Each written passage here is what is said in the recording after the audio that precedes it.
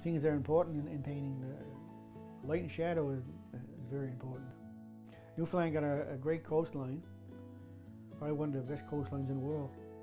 It certainly is a, a great, uh, a great place to, to find uh, subject matter. My name is Gary Kennedy. Uh, I'm from Port de Grave. I've been an, an artist now since 1984, uh, professionally. But uh, I became interested in art, of course, back in, in the 1960s. And in, 19, in 1966, uh, George Norsworthy, an artist from New York, came and uh, and he started a Little Art School.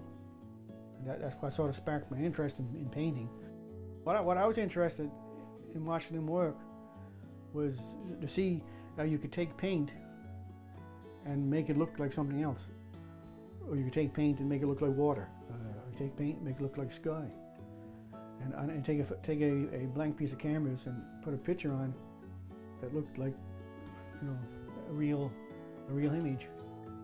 I've, I've experimented with uh, different styles of painting. Pointillism is based on the idea that you apply certain, like say, a certain number of dots of blue, a certain number of dots of, of yellow, and when you stand back, you see a different color. This, this is a print I, I won third prize in the Arts and Letters in, 19, in 1987, uh, uh, judged by uh, artist Mary Pratt. It's kind of imagined, sort of based on the some films of the hills and stuff like that, but it's, it's kind of almost could be almost anywhere in a way. Right here is, is almost just yellow dots where the sun is. And then in the next you see some red dots. This is red and yellow. They give you that sort of orange. When red and yellow dots combine, they make the orange. And then when you come over here, the blue dots are applied. That gives you the gray. Uh, my, my, serigraphs are kind of, uh, what, do you, what, do you, call them?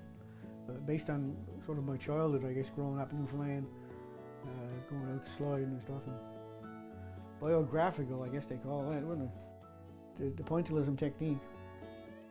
It's a good experiment in a sense to work with, because I think I think uh, you can learn a lot from it, and it might make you, me a better painter. But it's not something that I want to continue on. I like is, is more of a, a realistic kind of painting. I like the challenge of being able to paint something, try to make the, the skin look like skin or the flesh tones look right and stuff, stuff like that, and, and, and bring the color, to get the right colors and stuff, and the right light, to get to capture the light on the skin and the shadows and stuff. What I, what I found challenging in this one is, is to, to get to capture the light on the skin of a woman's uh, shoulder and her knees and stuff like that, to make it look like, you know, flesh tones, to make it look real. It wasn't uh, necessarily where the place was that was really important.